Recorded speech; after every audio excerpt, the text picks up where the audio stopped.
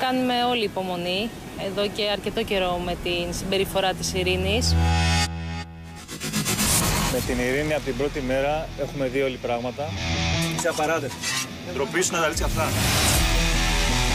Μπορεί στη ζωή μου να έχω νευριάσει τόσο πολύ τρεις φορές. Δεν ξέρω αν είναι στρατηγική και αν είναι έτσι όλο αυτό διπλωματικό στο να σε απομονώσουν, να σε φέρουν στα άκρα κάτι. Η Ειρήνη μας βλέπει όλους τους εχθρούς της. Μπορούν να μην ασχολούνται με την πάρτι μου. Καλώς ορίσατε σε ακόμα ένα αγώνισμα ασυλίας.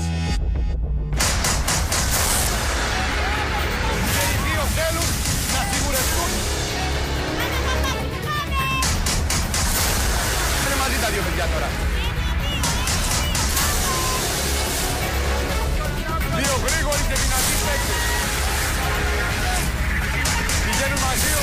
Παίκτες.